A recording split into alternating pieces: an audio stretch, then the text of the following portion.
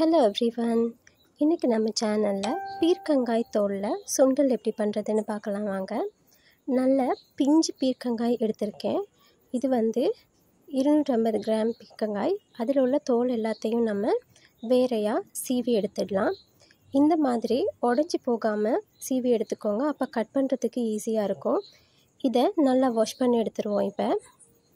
இதை வாஷ் பண்ணிவிட்டு நல்லா பொடுசாக அரிஞ்சு எடுத்துடலாம். அநேகமானவங்க பீக்கங்காயில் வந்து பீக்கங்காய் தோலை வச்சு சட்னி செய்வாங்க அப்புறமா துவையல் செய்வாங்க. ஆனால் இந்த சுண்டல் வந்து நிறைய பேர் செய்கிறதில்ல இந்த மாதிரி செஞ்சு சாப்பிடும்போது நல்லா டேஸ்டியாக இருக்கும். சாப்பிடாதவங்களும் விரும்பி சாப்பிடுவாங்க. ஸோ கண்டிப்பாக ட்ரை பண்ணி பாருங்கள் இந்த தோல் எல்லாத்தையும் இந்த மாதிரி சின்ன சின்னதாக நம்ம கட் பண்ணி எடுத்துருவோம். பாருங்கள் சூப்பராக கட் பண்ணி எடுத்தாச்சு. இப்போது நம்ம வந்து சுண்டல் பண்ணுறதுக்கு ஸ்டார்ட் பண்ணிடலாம்.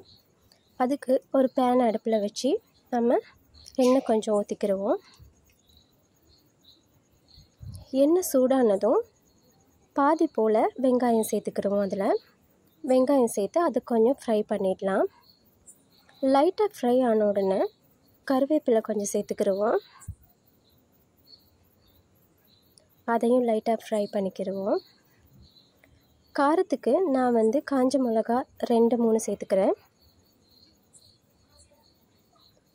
அதுவும் நல்லா ஃப்ரை ஆன உடனே நம்ம கட் பண்ணி வச்சுருக்க பீக்கங்காய் தோலை இதெல்லாம் சேர்த்துக்கிடுவோம்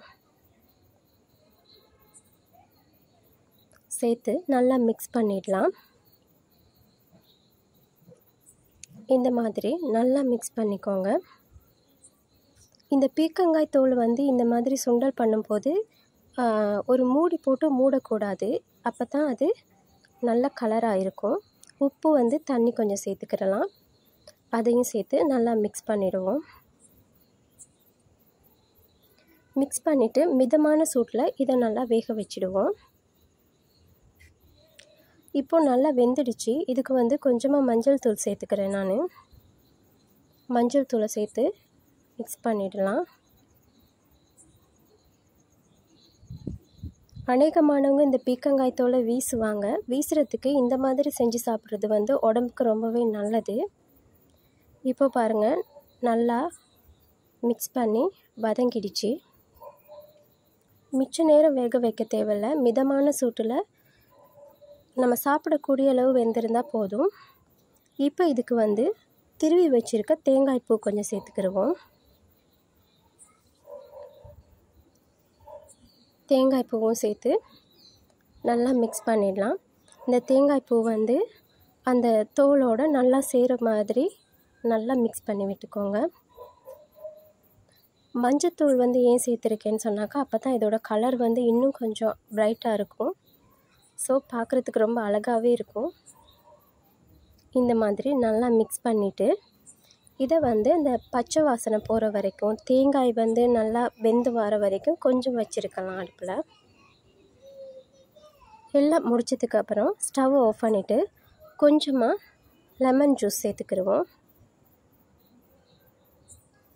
லைட்டாக ஒரு புளிப்பு ருசி இருக்கும்போது இன்னுமே நல்லா டேஸ்டியாக இருக்கும். நல்லா மிக்ஸ் பண்ணிடலாம். அவ்வளோதான் சூப்பரான பீக்கங்காய் தோலில் வந்து சுண்டல் ரெடி ஆகிடுச்சு கண்டிப்பாக ட்ரை பண்ணி பாருங்கள் உடம்புக்கு ரொம்பவே நல்ல மருத்துவ குணம் நிறைந்தது இது. பீக்கங்காய் சமைச்சிட்டு தோலை தூக்கி போட்டுறாமல் அதை வச்சுருந்து நாளைக்கோ இல்லை அன்றைக்கே வேணாலும் நீங்கள் இந்த மாதிரி சுண்டல் செஞ்சு சாப்பிட்லாம். ரொம்பவே ஹெல்த்தியான ஒரு ரெசிபி கண்டிப்பாக ட்ரை பண்ணி பாருங்கள் ட்ரை பண்ணி பார்த்துட்டு எப்படி இருந்துச்சுன்னு எனக்கு கமெண்ட்டில் சொல்லுங்கள் அப்படியே சேனலை சப்ஸ்கிரைப் பண்ணி வீடியோவுக்கு ஒரு லைக்கை தட்டி விடுங்க